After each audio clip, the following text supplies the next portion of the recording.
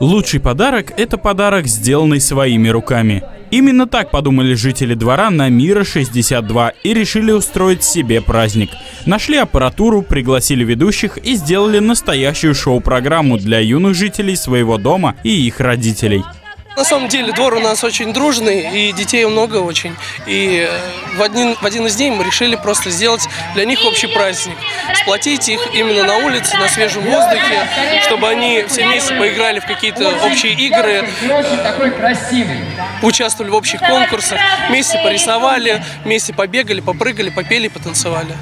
Мальчишки и девчонки с удовольствием принимали участие в конкурсах, которые для них проводили герои мультфильмов Волта Диснея, Микки и Мини Маус.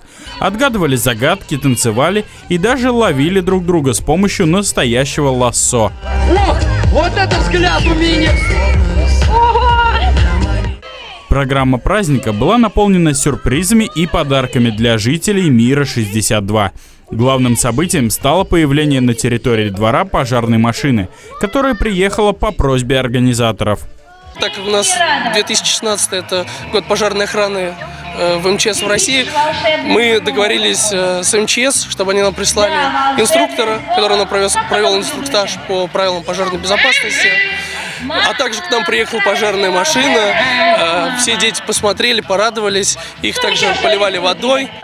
Юные жители мира 62 остались в восторге от праздника, а взрослые довольны, что удалось ближе познакомить, подружить и сплотить детей, которые живут в одном доме, но редко собираются вместе погулять во дворе. Александр Абаимов, Денис Дубицкий, телерадиокомпания «Заречный».